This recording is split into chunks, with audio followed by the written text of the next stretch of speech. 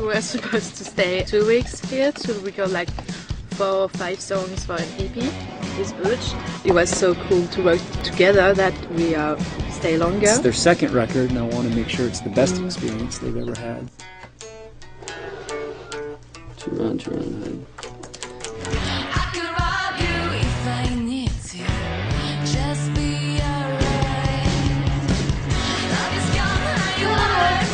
you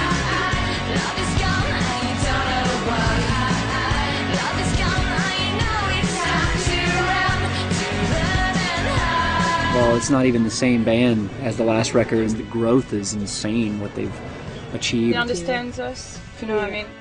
We just played our songs and was like, this is really cool, but you can do that to make it better. And we are just, oh yeah, okay.